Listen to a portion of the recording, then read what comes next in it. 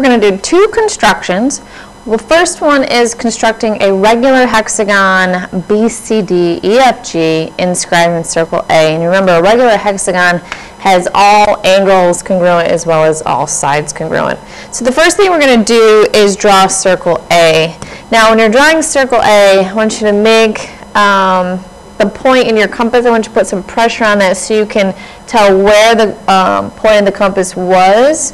So you can go back and label it circle A um, as you have the indent on your paper. Since I don't, I'm going to mark where my center is going to be first. And then I need to get out my compass and draw a circle. I want to draw a fairly large circle. You can take up as much space as you'd like on the page. Just make sure you, when you open up the compass, make sure it fits. So put it to the top, bottom, left, and right. Make sure you have um, a circle that fits before you draw it. So here's circle A. The next thing we need to do is draw point B anywhere on circle A. So here I'll put point B right here. And the next thing we're going to do with our compass is we're going to draw arcs, step three, with the center B radius AB. So I need to measure the length from that point to the center. So I'm measuring the radius. Okay, once I have that length, we're going to um, draw an arc that intersects the circle, and I'm going to label that point of intersection with the arc as circle C. So there's point C. And then step number four, we're going to repeat this step until we have four more vertices, giving us the six vertices of our hexagon. So go ahead and draw six more. So here would be D,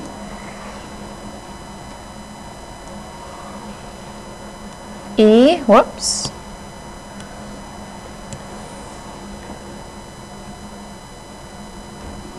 Be sure not to change the width of your compass. I actually have, in order to get it to fit, I do have to reflect it. Now here's my vertice. So A, B, C, D, E, F, G. Now we're going to draw each of the segments to form the sides of the hexagon. So let's do that in red. So here's BC, CD, ED. Whoops, that's off slightly. That's not wanting to start there. EF, FG, and GB or BG. So there's our hexagon. And the construction is done, but I just want to point out a few things about this construction. Remember, the distance from A to B and then A to C, the distance from any center to the point on a circle is congruent as they're all radii of a circle. So if I have them all congruent, I just I have an isosceles triangle, or six isosceles triangle, each interior angle being 60 degrees, 360 divided by 6. Base angles are congruent, so each of these ended up being an equilateral triangle. And I don't need to continue going all around, but I just wanted to highlight that. And so I look at one triangle,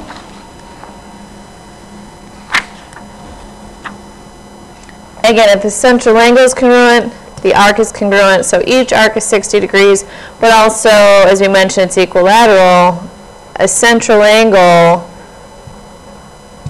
has the arc which is congruent, and also, two, the chords are going to be congruent.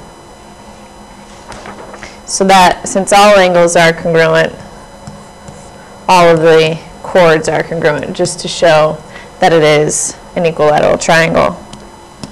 Now let's move on to the square. So to construct a square, that is inscribed in Circle A. We're going to start by drawing a circle again.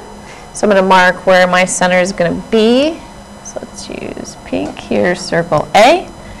Take your compass, draw Circle A.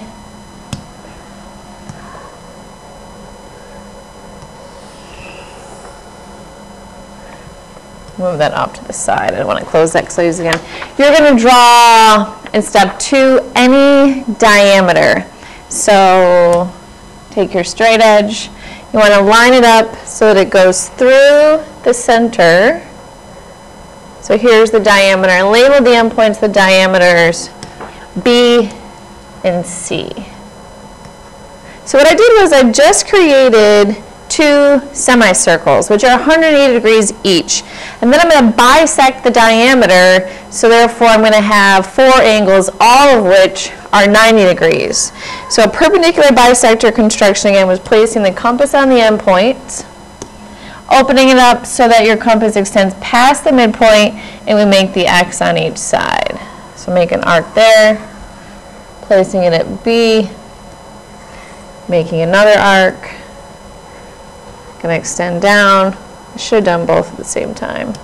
And then I need to reflect and placing the compass point on C and make this arc. Okay, I'm done with the compass.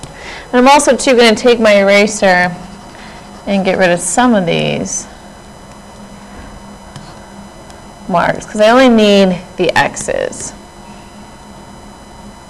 Now I'm going to draw the perpendicular bisector. So I'm first going to take, I must need to calibrate the board. So I'm going to start here, it goes through, take my pen, I'm going to extend it. You line up your straight edge so that it nicely goes through. And now I have these two points. So I just took a semicircle, again bisected the diameter, so all four of these angles are 90 degrees. So for the arcs are 90 degrees. Take your segment tool, your straight edge now, and connect the four points on your circle.